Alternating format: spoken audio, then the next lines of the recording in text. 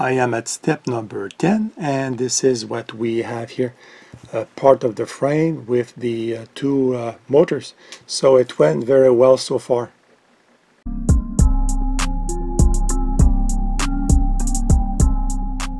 Hello guys, welcome to my channel. I am Daniel.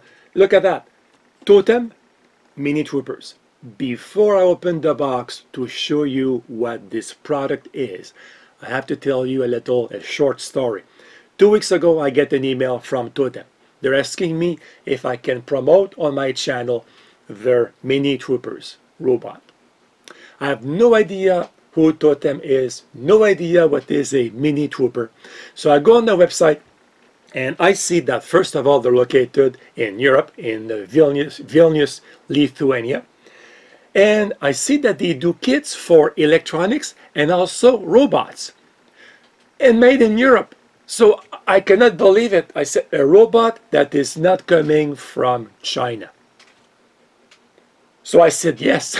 I said, of course I want to help you guys promote your robot outside of Europe.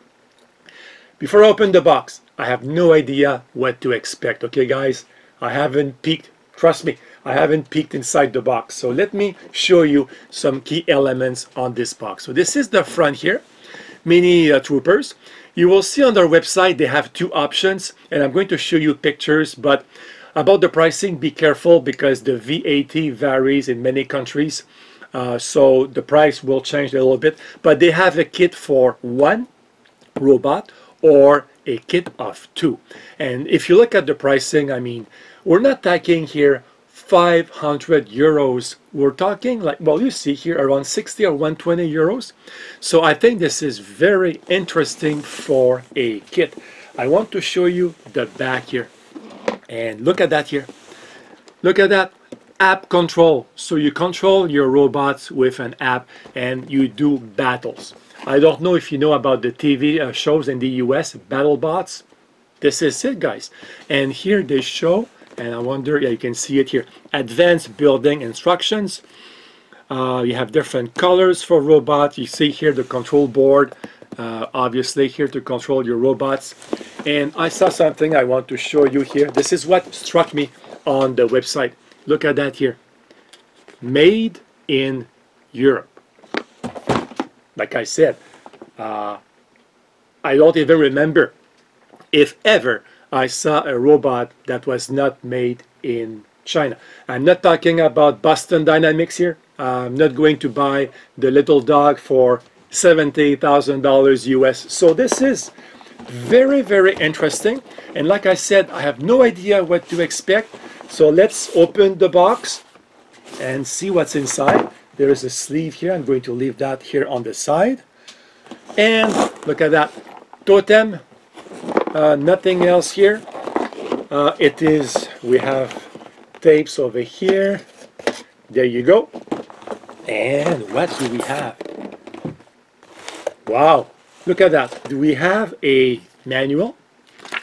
Very, let me see inside. Wow, yeah, I mean, it's very, very interesting. Look at that. It looks very, very well done and I have here a control board. Let me take this out here. So we can see here a control board. There's a servo over here. I'll put that on the side. I have two wheels two wheels here. A little motor. Look at that. Motor here. And here oh we have more parts over here. We have uh, these looks like um, plates. I have here, looks like a wheel. Look at that. I'm going to move closer. And this looks like, yeah, this is 3D printed. A bag of parts and a battery. Look at that. The rechargeable battery is included. This is very good. A bunch of screws over here. More screws over plates over here. What do we have here? More screws over here. Lots of screws. And here we have square uh, spacers. Or they could be also like square washers. And tools. look at that. They provide the tools to work or to assemble your robot because the robot comes pre uh, not assembled. You have to assemble the robot. And we have here a little uh, template to show you which screws is which. So they give you the length of the screws and the M type. It's all M3. M3, yeah, but different length. And here, what do we have? I'm going to put that sideways. We have a lot of styrofoam here. What do we have here? Oh, look at what, oh, look at what they did. They sent me the regular kit, but they sent me one fully assembled. This is very clever. And guys, if you see this video on my channel, it's because I like the product. I have a small channel. I don't get free products very often. Sometimes I start a video and after five minutes I turn my cameras off and I say no I'm not going to show this on my channel so if you see this it's because I like it so look at that here this one is yellow oh the other one here that they sent me in the kit look at that is green like we saw on the box so yellow this is the bottom over here. We see the two wheels, ball bearings here as wheels for the back. And can we lift this? No, it's on a motor. I cannot lift it. I need uh, probably the app to operate this, which we will do in the second video. I don't want this video to be too long, so I'm going to focus on this unboxing and also the assembly. And then I'll do a second video where we look at the app and we do a battle just like the TV shows. And uh, what do we have here? Oh, we have something else. Oh, this is probably to charge. Yes, this is the charger to charge the rechargeable battery. Again, that comes with the kit. Let me double check the box. It is empty. So I'm going to put that here on the ground, on the floor. So guys, I'm going to I won't do a time lapse. I don't like time, time lapse very much. They tend to be boring and long. I'm going to assemble this. I will follow the instructions. And at every step, I'm going to stop and show you a close-up of what the step is all about. And at the beginning here, they have starting tips. They show here about inserting the nuts and how to use the, uh, the template to make sure you are using the right screws because there are many, many screws. And um, a mechanical part list, electronics, tools, how to control, do you have the apps, and step one and two. You start with the rails here. You can see step one. Well, sorry, what is step two? Right there. Step one and step two. It looks very, very clear to me. So guys, I am going to assemble this and uh, we'll see at the end our two robots side by side but I mean I am liking what I see right now okay so let's start the assembly I want to show you here first uh, step one and two. They show here in the manual where to tighten the bracket. As you can see it's not always in the same direction. And uh, over here in this case for example it's right in the middle. And these are the tools that are provided. And actually this Allen the driver here is magnetic. So it makes it easy to drive the screw inside the uh, brackets I am at step number 10 and this is what we have here uh, part of the frame with the uh, two uh, motors so it went very well so far after step 16, we have the servo installed and the two little bumpers in the front. In tight spaces like the servo here, I prefer to remove the tip from the hex driver and then as you can see you can drive the beginning of the screw and then at the end you can just take the other Allen key provided to tighten well these uh, two screws uh, on both sides of the servo. After step 21, we have the battery installed here and the control board.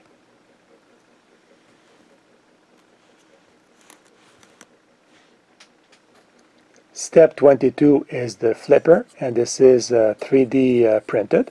And if you're not sure it says so in the back right there 3D printed.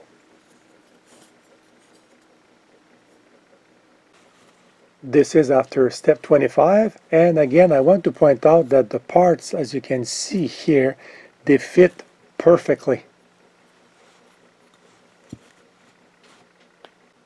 in step 30 we attach the flipper to the frame and I like the manual where they say here in some pages they say tricky step and they explain here why you have to tighten but not too much to get a free uh, movement in step number 31, we install the uh, two ball bearings in the back over here and uh, the two wheels on the two uh, motors.